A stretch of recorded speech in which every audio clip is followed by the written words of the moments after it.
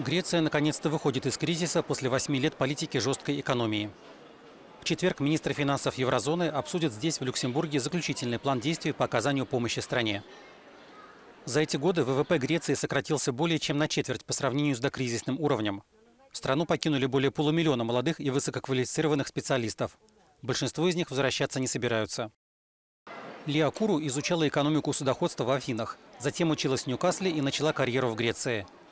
Но условия труда оказались тяжелыми. Она столкнулась с дискриминацией и четыре года назад в разгар кризиса уехала в Люксембург. Здесь она нашла работу в судоходной компании, начав новую жизнь. Сейчас ей 37 лет. Думает ли она вернуться? Нет, ведь ничего не изменилось. Несмотря на все страдания, которые нам пришлось выносить все эти годы, ничего не изменилось. Все осталось таким же, как было. Не изменилось вообще ничего.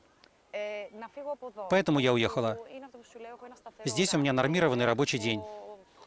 У меня остается свободное время, которое я могу посвятить самой себе. К тому же в Люксембурге действует просто отличная система здравоохранения.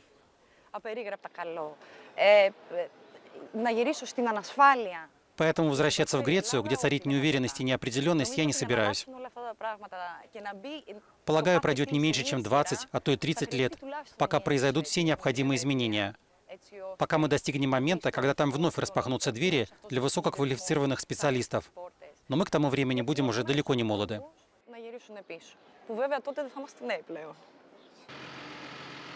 Что же требуется для того, чтобы Греция вновь встала на ноги? Европейский инвестиционный банк уже вложил средства во множество бизнес-проектов, на которые приходится 10% ВВП страны.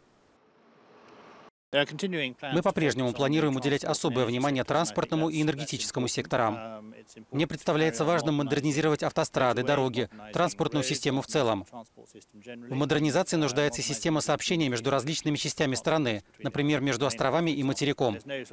Совершенство недостижимо, но мы должны приложить усилия для того, чтобы дело двигалось в правильном направлении. При этом, несмотря на улучшение ситуации, еще предстоит решить проблему долга. Греция уже предприняла серьезные усилия, и последствия принятых мер были весьма тяжелыми, но страна выстояла, и теперь мы наблюдаем позитивную сторону. Видны результаты проведенных реформ. Но теперь вопрос состоит в том, как быть с долгом, который составляет 180% ВВП. Это слишком тяжелый груз.